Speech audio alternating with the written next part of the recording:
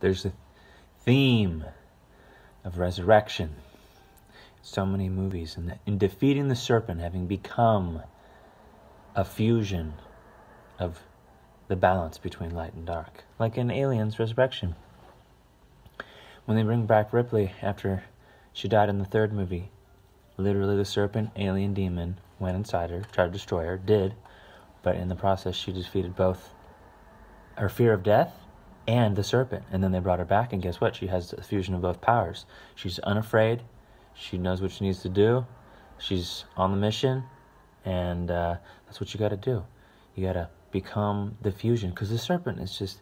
Uh, it's an, an analog to our our uh, reptilian nature, you know, the fight or flight, and uh, our awareness, the ego. So when you truly encompass it and you get reborn, then you have all those powers at your disposal and you're free.